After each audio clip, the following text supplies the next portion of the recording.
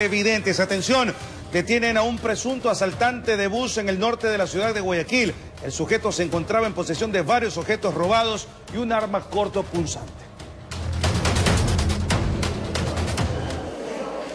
Es acusado de asaltar a varios pasajeros de un bus de la línea 124-2 mientras circulaba por la avenida Francisco de Orellana, norte de Guayaquil.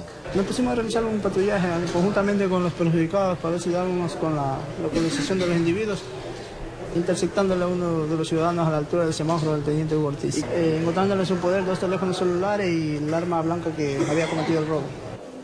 Se embarcó en el transporte con otro sujeto en la ciudadela La Garzota y el robo lo cometieron minutos después en Samanes 6. Su compinche logró escapar.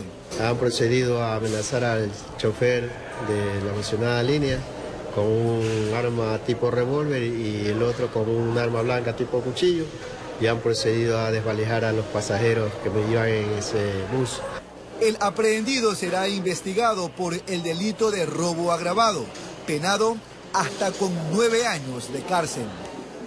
Informó Jorge Salazar.